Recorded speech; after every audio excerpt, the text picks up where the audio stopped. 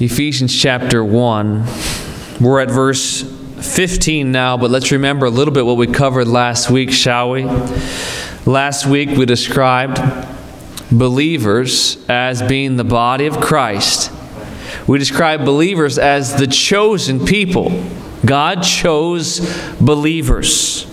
He picked those who believe the gospel. He picked those people to be His people, to adopt us, to save us. And he picks us to sanctify us on this earth, to use us on this earth for His honor and glory. You are chosen. I don't mean that in any sort of Hollywood terms or lukewarm terms like other churches talk about, some feel good idea. You are chosen. It's both a wonderful thing, it's also responsibility. You're a soldier of Jesus Christ, you're an ambassador for Jesus Christ. At this church, we strive to keep that at the forefront of our minds. How God chose us and He called us for His honor and glory. Today, as we consider how wonderful it is to be chosen, I, I ask you this. I wish you would. Make this like a, like a, a, concerted effort in your heart. I want you to look at a person next to you. You don't have to look at them physically, but think about a person next to you who also is chosen, who's a born again believer. Maybe they believed years ago, maybe they believed yesterday. But I want us to consider the believers around us today. For if they are bought by the blood of Christ, they are chosen as well. And I want to use this text here with Paul the Apostle to look at how did Paul view the rest of the body of Christ? How did he view the Christians around him? What was his thought? I'll tell you one thing that's very different than Paul and most people is that his thought was on other people. You see that in his writings. God has in his mind this very focus on other people, how they are growing, how Paul wants them to grow, how Paul wants them to succeed in service of God Almighty. This thought of thinking about others. Please look, please look at verse 15 and we'll get started. Paul writes, inspired by God, he says, Wherefore I also after I heard of your faith in the Lord Jesus and love unto all the saints. I want you to note here, all Paul says is after I heard about it. Over here at the church of Ephesus, Paul hears about these people, their faith, and he hears about their love for other saints. And he didn't need anything else. He didn't need any more proof he didn't need to watch him for years. He says, I've heard about your faith in the Lord Jesus Christ. I've heard about how you're serving with the saints. And he's going to go on to tell him how excited he is about them serving God. He's how excited he is about them being saved. You'll see in his words a true love and joy for God saving souls, for God using people a love that abounds, a love that pushes and propels him in his life. We're always excited about us, aren't we? We're always excited about when we have a victory, when we have success, when we have growth. And that's good. Be excited and thank God for those things. But life opens up, and the body of Christ opens up, and the church opens up to something a lot more magnificent when we are just as excited about other people getting saved, other people growing this year. The whole work of God opens up when we look beyond the end of our noses we begin to then consider how are we impacting that brother or that sister. We begin to pray for them, that brother and sister. We begin to have joy and rejoicing when we see God working in their lives. Your whole life becomes much more colorful and wonderful when then you see this whole picture of what God's doing. They say, well, I thought God was calling me to be this, the one who's going to give a good sermon or a good Bible study, the one who's going to know how to, you know, give some advice for parenting, or I was going to be the one who's going to be able to lead in the church work in this ministry and be able to do this or do that. Sometimes then we become disgruntled that it's not us. But if we look holistically as the body of Christ being one body, we begin to say, whoa, look, that arm is doing something big, and the foot is doing something great. Remember our first sermon? The body of Christ. Oh, we have such joy when, when we look beyond ourselves and see what God's doing in the whole body of Christ. All he needs to do is hear. You know, I totally believe in fruit inspection. And when Paul shows up at Ephesus, he's probably going to look at some of their lives and be like, wait a second, you said you profess Christ, but in works you're, you're denying him. He might say that down the road, but right now, you know what he is? He's optimistic. He's optimistic that what they're saying is true. You saying you have faith in Christ? You're loving the saints? I believe it. I believe it. I want to give a little shout out this morning for optimism. Do you know that? Well, there is a place for being sober in this world.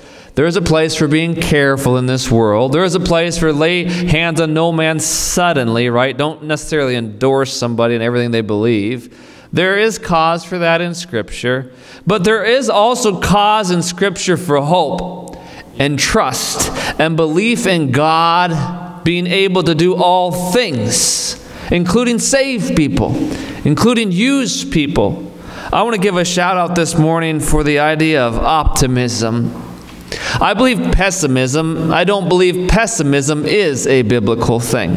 I don't think it is. Again, I've described in terms you know, being sober and serious, but I don't think pessimism is a scriptural thing. Someone who's always saying, no, that's not going to work out. Oh, they're never going to change. Oh, I'm never going to grow. God's never going to use us. This church is never going to do anything, right? That kid's not going to end up right. That decision's going to end up wrong. Pessimism, pessimism, I don't think it is a biblical trait. Pessimism, in my mind, is a fancy way of saying, I'm faithless. Pessimism is a fancy way of saying God can't do the impossible. Pessimism is a surefire way to demoralize David's and a surefire way to grow more Goliaths.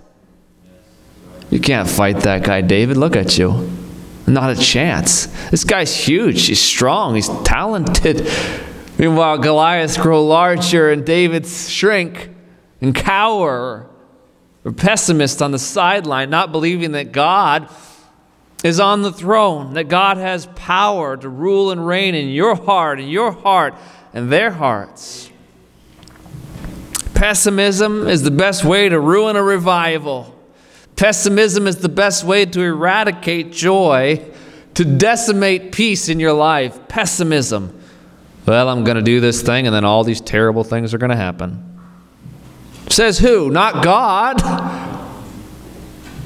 God works things out. God makes wonderful things happen. God made it so that when all those children of Israel were, were going to cross the Jordan River, He made it dry land. He made it wonderful. It would have been a soggy, muddy mess of dangerous um, walking across that uh, area of the river, he made it dry land. He did the same thing with the Red Sea. We don't need pessimistic people saying, Moses, Moses, we're going to go out in the middle of the Red Sea and the whole thing's going to be a muddy mess. and We're going to get stuck. Or the whole thing's going to come caving down on us. Moses didn't need pessimists. He needed people to trust God, right? And trust that Moses was in touch with God. And we're going to go and we're going to march. And it's going to hold up a wall to the left, a wall to the right of water. Impossible, physically impossible for water to stand up. You ever tried that with water? Every time I pour it out, it just falls down. You tried that, Kristen? But God had the water just stand up on the right and the left, and they walked through on dry ground. There wasn't a pessimist during that march. Well, there probably was, but by the time they finished it, they were like, well, we should trust God. Pessimism. Pessimism is misplaced as long as God is on the throne. When you see him taken off the throne, then you can be pessimistic. This whole thing might not work out. They got God, but they're not going to get God. Uh, he's on the throne permanently. Amen? Amen. Pessimism needs no place. That's even true in a falling nation, in an immoral nation. We can be pessimistic about government, doubtful, right? I get you that sense. But we still don't need to be pessimistic about God and what He's doing in this world. He's going to use his servants, his people for his honor and glory. Whoever wants to sign up is going to have a God blessed life. I don't care if you're in the sewers of China or if you're in Lewiston in, in 2024. God's going to be with you. He's going to never leave you nor forsake you. So don't live your life, especially this election cycle, just pessimistic. Oh, the whole thing's over. No, it's not. Doesn't matter what happens in this world, God's still on the throne. As soon as Paul hears their faith, and as soon as he heard about them wanting to serve with the saints, that's all he needed to hear. Optimism. Optimism. Faith in God, trust in God. It leads to this. Look at verse 16. Paul says, he, he, I cease not to give thanks for you. Cease not to give thanks for you. He's thankful. He's thankful that God has saved their souls and God's growing them, God's using them. He's thankful. Not only is he giving thanks for them, he's not stopping giving thanks. He just keeps talking to God about it. Thank you, Lord. Thank you, God, for saving their souls. Thank you, God, for working in their lives. Thank you for putting them in my life. Thank you, God. Thank you, God. Thank you, God, without ceasing. When's the last time you thanked God for somebody? How about that? I think it's okay. You're giving God the glory. I'm not talking about praising men and glorifying men and women, but I'm saying thanking God for who He's put in your life, who you've seen God work in their lives. God, I thank you for my spouse. I thank you for this brother, for this sister. I thank you for that preacher. Thank you for this teacher. When's the last time you thanked God for somebody? The last time you looked at your father or mother or sister or brother or uncle or grandparent or anybody and said, Thank you, God. We'll be very careful to thank God for a Wendy's hamburger, but not for a God fearing wife. Lord, thank you for this sandwich, Lord. I've been praying for this sandwich for many years, Lord. You brought this sandwich into my life, and it has been everything I've ever needed, Lord. we could be thankful for the people God brings our way the mothers of our children, the fathers of our children, the brothers, sisters helping us learn this Bible, who's giving us a good godly example the children who are blessing our souls by accepting Christ as their Savior and believing this book with childlike faith. We'll thank God for a pay raise, but not for people. Right? Thank God for a salad, but not a sermon. We'll thank God for possessions, but not for people. Lord, thank you so much for this new vehicle you've given me, Lord. It's so important in my life. I don't know what I could ever do without it. We thank God for our successes, don't we? Lord, thank you for making me successful in this endeavor. But are we thankful for the servant that's serving next to us? God gives gifts to this earth, and one of the gifts that He gives are the saints together. Should be thankful for the body of Christ, the arm and the leg in your life, right? The ear and the nose in your life. These sermons are building on one another. If you, if you missed the first part, you're totally lost by now. Got to bring back out Mr. Potato Head and start at the start. James chapter 1, verse 16 and 17 tells us this. It says, Do not err, my beloved brethren. Every good gift and every perfect gift is from above, and cometh down from the Father of lights, with whom is no variableness, neither shadow of turning. James tells us that every good gift and every perfect gift is from God. We thank Him for it. You say, Well, I don't have a perfect spouse. I don't have a perfect father, mother, sister, brother. Uncle, aunt, grandparent. I don't have a perfect pastor, that's for sure. I don't have a perfect deacon, or I don't have a perfect teacher.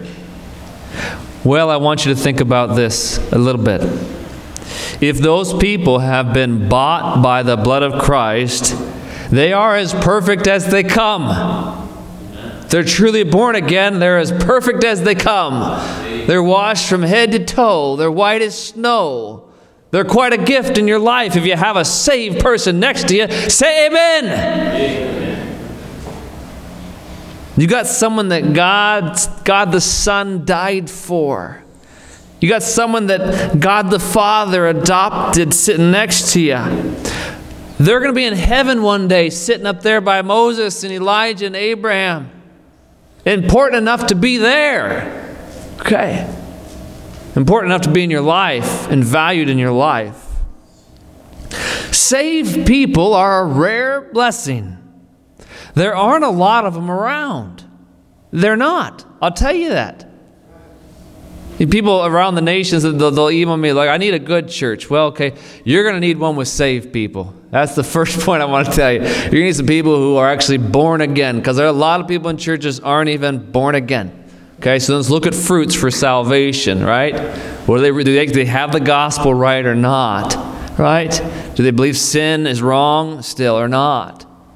Look at some of these things. There aren't a lot of saved people in this world, in this broad way that leads to destruction. There aren't a lot of saved people. So when you, you find them, I've said this for years, when you find them, hang on and be careful to let them go.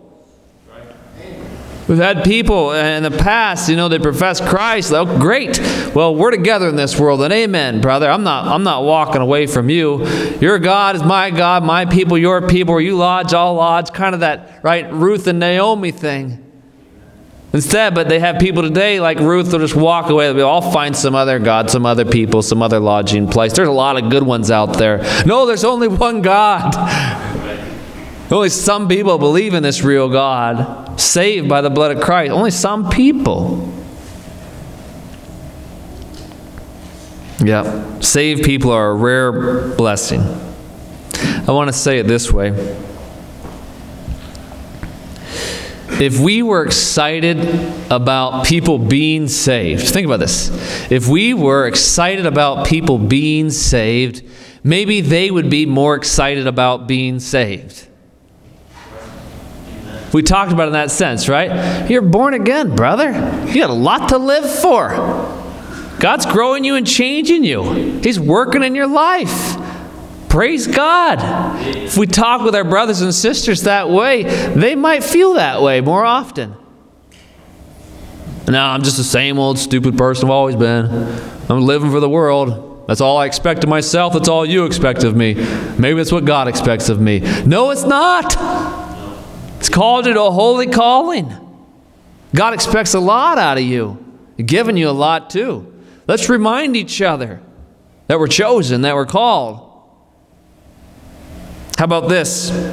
If we were more excited about people being saved, maybe others would be more excited about getting saved. You think about that? If we told the world how excited we are that this new sister asked Christ to save her soul. My son asked Christ to save his soul. We started telling the world, the world's like, well, what's the big deal with that? Sometimes I think the world wonders, what's the big deal with you guys at church? You say you got this born again and eternal life, but you sure don't act too excited about it. You just barely get your butt back in church. No, I got to go to church again. Well, just stop going, the world says. If you hate church and don't like going, why are you going? Then you got to ask yourself, well, why don't I like going? We I, I, firmly believe we defeat our own testimony in this world. I firmly believe we're not going to be able to lead people to the Lord because we aren't excited about the Lord. we're not excited about the preaching. Right? Someone's going to open the scriptures. I got to be there. My kids got to hear it. My friends got to hear it. My neighbors got to hear it. They got to hear. I'm excited about the Word of God going out, right? But the world senses no excitement in the saint's mind about the things of God. Please look at Matthew chapter 13. We will come back to Ephesians, I promise. Matthew 13.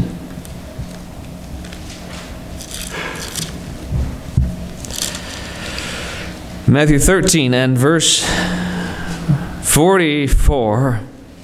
The truth is, God the Father gave everything, God the Son gave everything to purchase salvation. Look at verse 44. Again, the kingdom of heaven is like unto a treasure hid in a field, the which when a man hath found, he, hi- he hideth, and for joy thereof goeth and selleth all that he hath, and buyeth that field. Treasure in this field. Treasure in this field is speaking of the church to come and people accepting Christ as their Savior. Treasure there selleth all that he hath and goeth and buyeth it. Look at verse 45. Again, the kingdom of heaven is likened to a merchantman seeking goodly pearls, who, when he hath found one pearl of great price, went and sold all that he had and bought it. The truth is, God gave everything to purchase the church with his blood, to purchase that pearl of great price. Believers. A huge price was paid to redeem souls. What a transaction. Everything, given everything to purchase, purchase salvation for those who will believe. Think about that. God giving everything to save souls, save that person next to you. God sending his son to die on the cross, right, for their sins. That Savior marching toward Calvary to shed his blood and give everything on the cross of Calvary for their sins. Their blood bought. I'm, I'm preaching this morning to have us be thankful for the saved people we have in our lives. We've got some people wanting to join the church today. We should thank God they profess Christ as their Savior. Thank God they want to serve with the saints in a local church. It's a wonderful moment for rejoicing. The truth is, down here and look at verse 47. You'll see from 47 to 51, the truth is, most people are hell bound. Look at 47. Again, the kingdom of heaven is like unto a net that was cast into the sea and gathered of every kind, which when it was full, they drew to shore and sat down and gathered the good into vessels, but cast the bad away. So shall it be at the end of the world. The angel shall come forth and sever the wicked from among the just. See, today it's all kind of just running together, isn't it? All the churches, all the faiths, all the religion. There's this big old uh, net full of all kinds of stuff. At the end of the world, the angels are going to have some of this job, it says, of taking away the true believers from the ones who didn't believe. 50 and shall cast them into the furnace of fire. There shall be wailing and gnashing of teeth. Jesus saith unto them, Have ye understood all these things? They say unto him, Yea, Lord. The truth is, most people are hell bound. Truth is, most people are faking their faith, just playing a game with their profession of faith, just going through the motions of this Christian life. They're not really born again. That's the truth. So we're to be thankful for those who are truly born again. We see God working in their lives. We have the pleasure of watching God use them in this world. Says the others will be cast into a furnace of fire. There should be wailing and gnashing of teeth. That's the sad outcome of the people who do not believe in the gospel of Jesus Christ. It is hellfire in every story Christ tells. Not just in metaphors, but in real stories Christ tells. Luke 16, for one, to be an example. Hell is where they go. The angels even have a job in saying this is a believer, this isn't a believer. It says here in this story. The angels have a part. I want you to think about the angels for a second because let's remind ourselves of what we learned in Luke. Look at Luke 15. Luke 15. Remember, we preached this during our Luke series. I want to come back here again. Tells us a lot about the scene in heaven.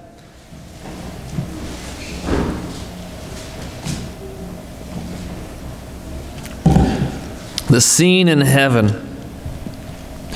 Please read this with me here in 15, verse 3. Follow along, I mean.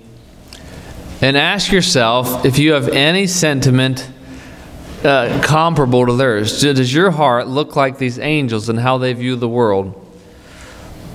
The angels and just the picture in heaven. Look first, let's first do the one in, in verse 3. Look at 15.3. What man of you, Jesus says, having a hundred sheep, if he lose one of them, doth not leave the ninety and nine in the wilderness, and go after that which is lost until he find it? And when he hath found it, he layeth it on his shoulders, rejoicing. And when he cometh home, he calleth together his friends and neighbors, saying unto them, Rejoice with me, for I have found my sheep which was lost. We know what this parable is talking about. talking about how all we like sheep have gone astray. All mankind, like sheep, have wandered off. And God has this heart of wanting to find every last one of them. No Calvinist thought here, not 50%, not 20%. He wants to find 100%. That's who he's seeking for salvation. He's not willing that any should perish. So he's marching after this lost sheep. He finds the lost sheep. He's rejoicing with the lost sheep on his shoulders at the picture of God having saved a soul a soul been reconciled to Him. There's joy with God the Father when someone accepts Christ as their Savior. It says in 7 I say unto you that likewise joy shall be in heaven over one sinner that repenteth. Right? It doesn't say over one sinner that is accepted by mankind, one sinner that mankind is going to love on, but joy in heaven over one sinner that repenteth. One sinner that changes his mind about who he is and what he needs to save him. One sinner that repents and trusts Christ for his salvation. There's joy in heaven over one sinner that repenteth more than over ninety and nine just persons which need no repentance. See, most people in the net, most people in the world, most people in the church, 99%, I don't need no Savior. I'm just going to disciple my way into salvation like Crosspoint teaches, or I'm going to work my way into salvation like so many churches teach. I'm going to baptize my way into salvation like uh, Christ Church or the Church of Christ teaches. They don't need change their mind and plead for Christ to save them. But there's joy in heaven over one person that truly gets it. Truly gets it. We've got some people we're going to baptize today. And when you ask them, they describe that they truly get it. That they're not saving themselves. They've changed their mind, if that was ever in their mind. They've changed their mind and they're trusting what Jesus Christ did at Calvary, trusting Christ's blood. And if that's what they believe, heaven's rejoicing. So we should say amen today. Amen? Look at verse 8.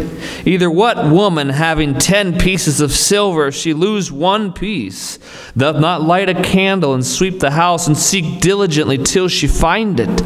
And when she hath found it, she calleth her friends and her neighbors together, saying, Rejoice with me, for I have found the piece which I had lost. Likewise, I say unto you, there is joy in the presence of the angels of God over one sinner that repenteth.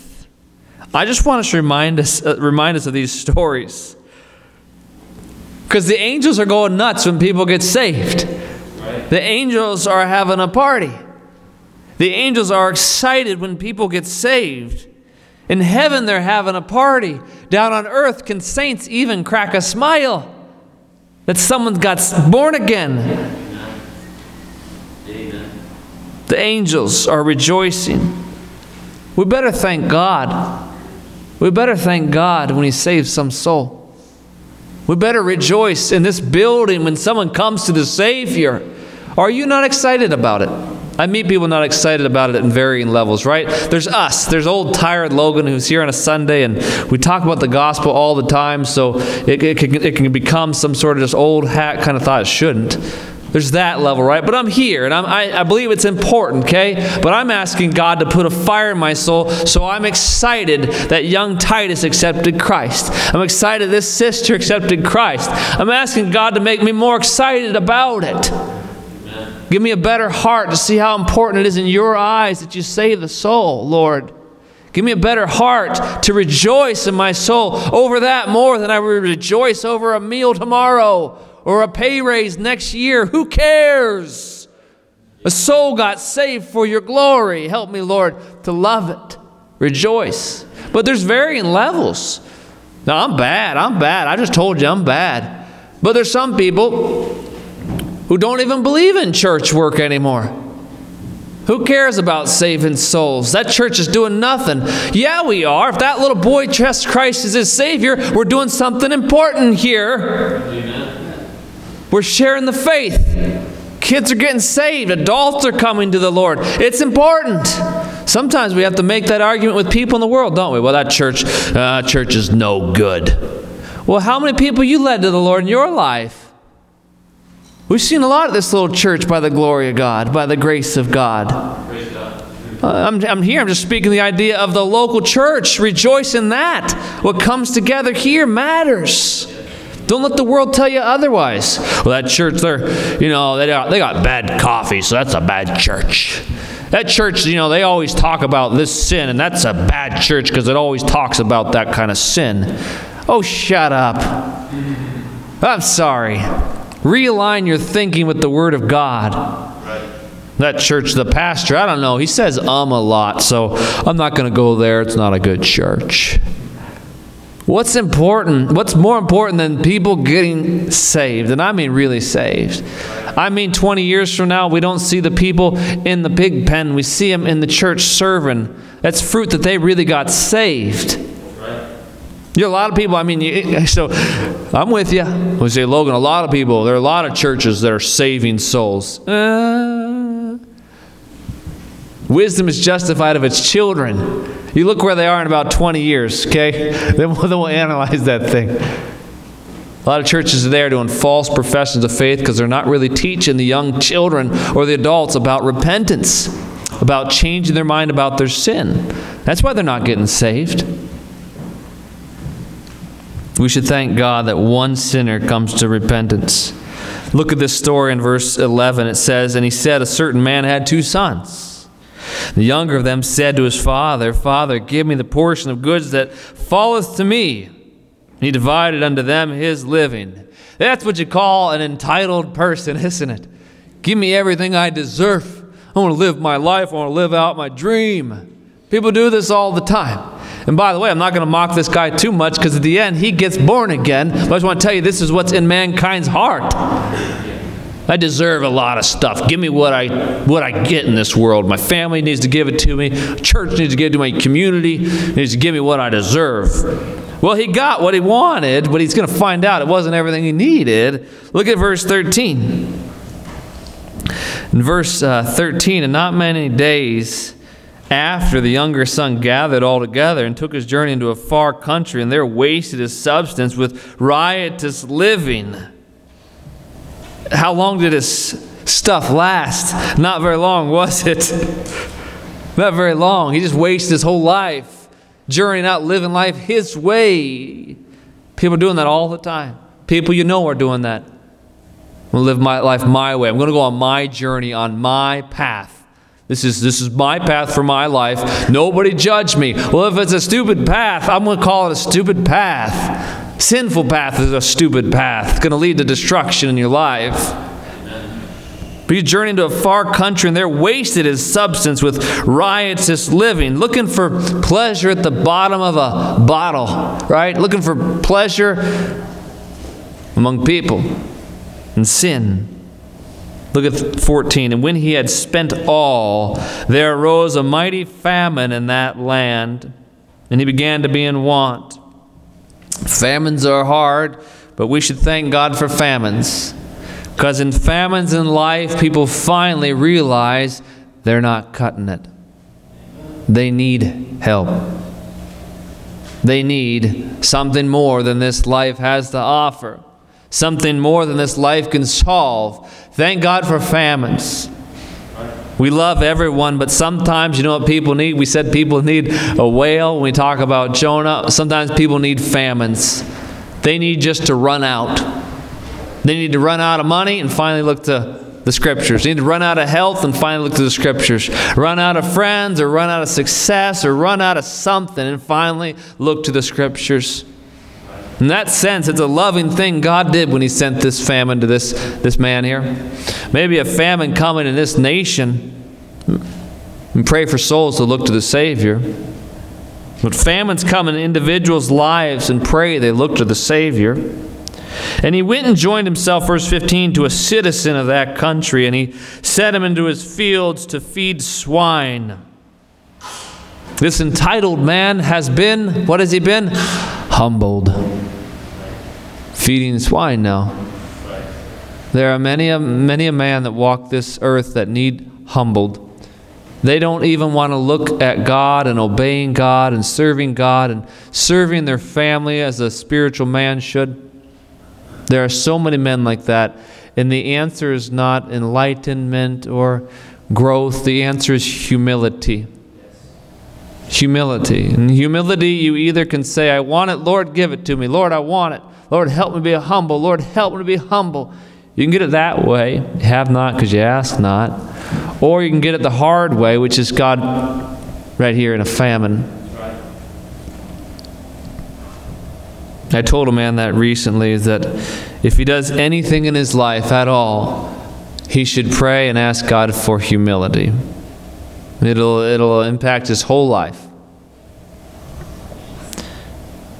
Look at 16. And he would fain have filled his belly with the husk that the swine did eat, and no man gave unto him. This man was entitled. He thought he deserved all kinds of things in life. Now the pigs have better than he has. Look at 17. And when he came to himself, I want to ask you this morning are you listening to me? Are you listening? Have you come to yourself? He came to himself. It means he realized what he was lost, in famine, undone, worthless, of no worth to himself, to his father, to anybody. Have you had a time when you came to yourself? That's that moment of repentance. People who truly get saved are those people who come to themselves and say, I'm no good. Oh my goodness, I'm not any good. I've broken enough rules to go burn in hell for eternity. Absolutely. I've broken tons of God's rules purposefully, habitually, because I loved it. That's why I did it again and again and again. Have you come to yourself? I went my own way on purpose. Right? I lived in sin on purpose. I got drunk on purpose. Right? I was in this sin. I told those lies on purpose. I was covetous my whole life on purpose. Come to yourself. Come to yourself. It's like that thief on the cross. He, he tells Christ, Oh, I did all these things. I'm here justly hanging here because I lived this whole life on purpose. The thief my whole life on purpose. No one forced me to do it. It was my wicked, covetous nature did it. Come to yourself. Get honest with yourself. These are people who really get saved, or people who finally get honest about themselves. He says, How many hired servants of my father's have bread enough and to spare, and I perish with hunger? There's all these servants who are eating well, right? That's a neat little picture there of God's servants, Christians, eating well, living well spiritually, and you are starving your soul. You've got no spiritual food in your soul. You're hungry, you're famished. All the servants of my father, they're eating really good. Boy, saints, we are eating good. If you got the Bible, you're walking with God, you're eating good. The world is famished. I perish with hunger. Look at 18. I will arise and go to my father, and I will say unto him, I have sinned against heaven and before thee. You see how he's going to go to his father? It's repentance toward God and faith toward Jesus Christ, he's going to go to his father and he's going to tell him a thing or two, isn't he? Well, this whole life didn't really work out. You gave me a rough life to live. No, he's done with that, isn't he? He's done with that. People don't come to the Savior who, who, who have that kind of outlook toward God, of them getting shortchanged. I know one man right now in my head in particular who I believe this is still holding him back. He's still not going to get saved until he drops the idea that he was shortchanged, right? He's got to drop that idea and say, No, I have sinned against heaven and before thee. That's where he's at. It's got to be right there, right? No one else's fault.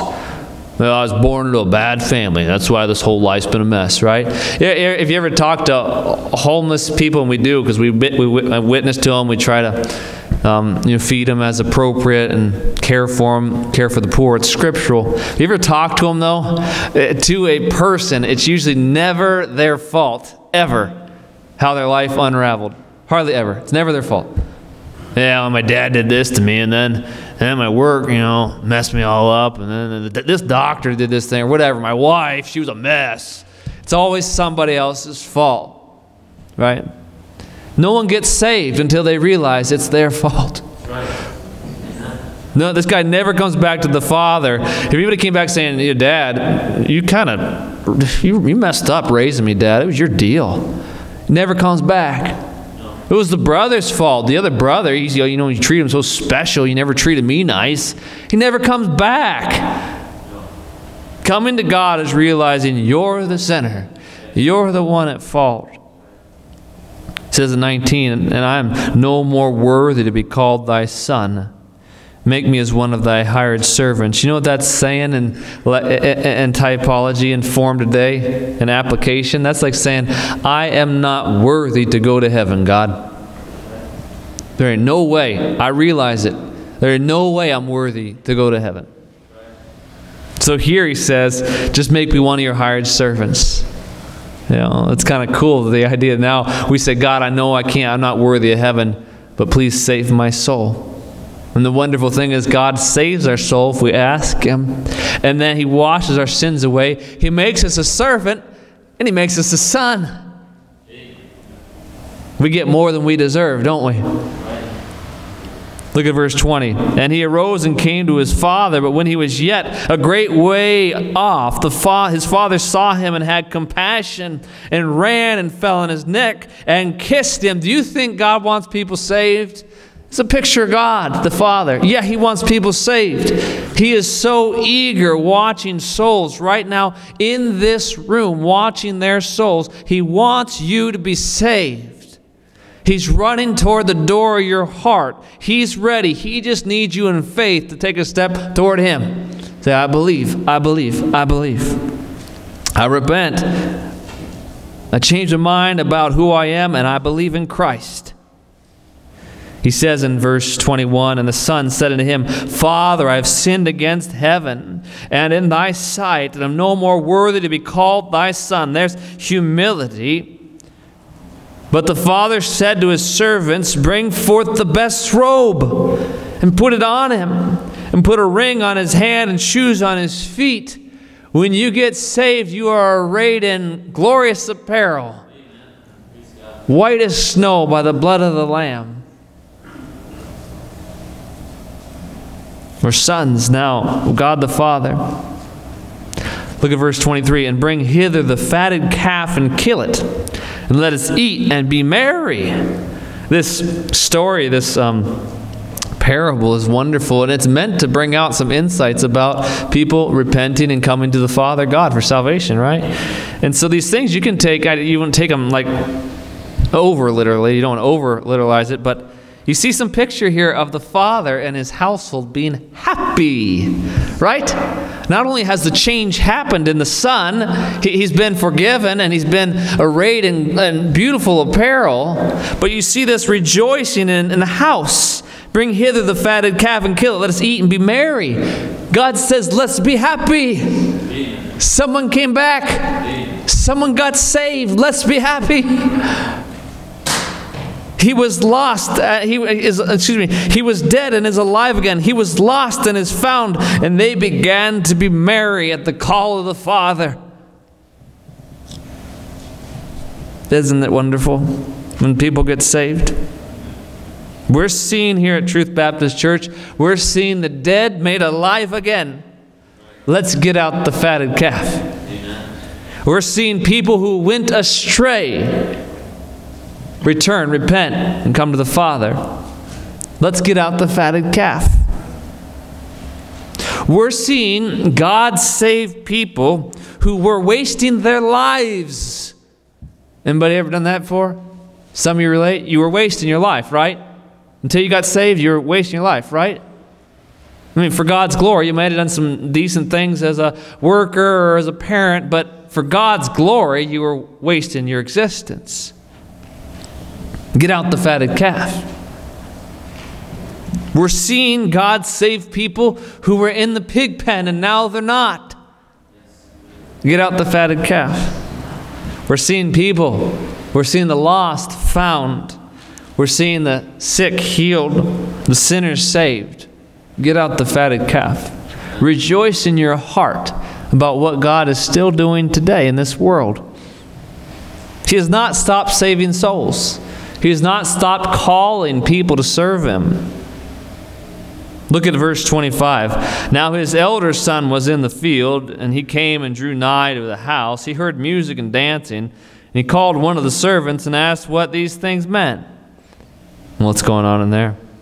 This is one of those pessimists. And he said unto him, Thy brother is come, and thy father hath killed the fatted calf, because he hath received him safe and sound. And he was angry angry. There is no use in this family. There's no use in this church. There's no use in heaven for people who aren't excited about people repenting. There's no use for them. They're drains, right? They're Johnny Rain clouds when we should praise God. There's no place for them.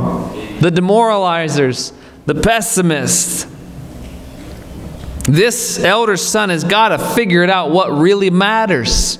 He's mad. He'll talk about how come you never did the cow for me? How come I never got the fatted calf? His whole life is still thinking about him, isn't it? My growth, through the fatted calf. My successes. What happens in my life. Those are the things we need to throw a party about. No one's doing that for me. This elder son is a picture, I'm sorry, it can be a picture of Christians today still focused on their glory. When what should we be happy about? A soul just repented and turned to the Father. Are you as happy as you should be about people getting saved? Are you? Are you as happy as you should be about the gospel going out? Sometimes uh, culture it's it's leavened by you know some specific people. It can be. And you get that's why the Bible talks about in 1 Corinthians talks about one, leaven can leaven the whole lump. And sometimes leaven is not about a lie. Like sometimes in churches they'll have someone start spreading a lie or some doctrinal error. And that's problematic, terrible. But it also can be what spreads is just a a unthankful heart. An unjoyful heart. It can spread. Pretty soon, oh, that guy's not excited about someone getting saved or what the church is preaching and kids getting saved and Sunday school being taught and sermons going out and witnessing, you know, tracts being handed out throughout the valley. They're not excited about it. I'm not going to be excited about it. No big deal. Pretty soon, you, you get a whole culture of people saying, Why is the Father so excited about people getting saved? Why is the Father so excited about the gospel going out? culture. Our, our culture should be one of soberly and seriously serving our Savior. There's a lot of S's there, right? But our culture should also be one of rejoicing, rejoicing that God saves souls, rejoicing that God is growing people. Maybe your heart is there with me that we need God to make us excited about that. And if He does, it'll change the way we get busy for the Lord. It will. It'll just happen. You ever, you ever done something you're excited to do and something you're not excited to do? Like, I'll be honest, I'll, my, my work will have to hear this and rebuke me one day, but I get sometimes I get projects at my work that I am just not excited to do. It's like one of those long, boring projects, you know. And I'll do it the best of my ability, but sometimes it takes a little longer, not on purpose, but it just does. But if you give me a project I'm excited about, boom, I'm on it. I can, I, and sometimes people are surprised. Whoa, you did that in two hours? Yeah, because I loved it. That was a good one. That was fun. That was exciting. Well, brothers, what would happen in this church if we got real excited about the soul saving business again? Soul saving ministry, the kids, these little kids hearing the gospel. What if we got more excited? What kind of work could God have us do? What would it do for you to get excited? Boy, I tell you what, probably wouldn't miss much church anymore. Probably wouldn't fall asleep at sermons. We probably wouldn't probably have our Bibles open, ready to roll, ready to rock, ready to share. Excited about a brother or sister who's doing those things. Loving a spouse who wants those things. Let's go back to our text here in Ephesians. I ended up making a longer sermon out of this. That's my specialty. I'm sorry. Look at Ephesians. I'm, I'm, just, we're not turning anywhere else. It's in Ephesians chapter 1. I want to do the second sentence. It's, it's, it's just what comes next, I believe. When you are thankful, when you are thanking God, you're praying. Look at verse 16. I cease not to give thanks for you, making mention of you in my prayers. Paul is praying for these people. He's so thankful for them, what God's done, and now he's praying for them. I want to, as we finish this sermon, we finish this text, I want to put in this thought of praying for people. You're not done praying for somebody even once they get saved. Right? I love it. Pray for the lost, pray for the lost, pray for the lost. But, brother, pray for the saved, pray for the saved, pray for the saved. You'll find these lines that Paul says throughout the epistles I give thanks for you, and I make mention of you in my prayers. Repeats it, repeats it, repeats it. Pray hard for people to get saved. Pray hard for people who are saved. What should we pray about? Look at verse 17. That the God of our Father, excuse me, that the God of our Lord Jesus Christ, the Father of glory, may give unto you the spirit of wisdom and revelation in the knowledge of Him. I'm going to pray this for all you, but today I especially want to pray for our two folks getting baptized. Let's pray that God would give them and us wisdom Wisdom to serve God, wisdom to love God, wisdom to obey God, to share God. Let's pray for others to have wisdom. We can. Don't be worried about them getting wiser than you. If they're wiser than you, that will be good for your life. Right? Don't pray don't worry about your spouse getting wiser than you. You want a wise spouse. You don't you don't want an unwise spouse. Pray for them to become the most wise resource you have right next to you. And your pastor, your church. Pray that they grow in wisdom. Look at 18.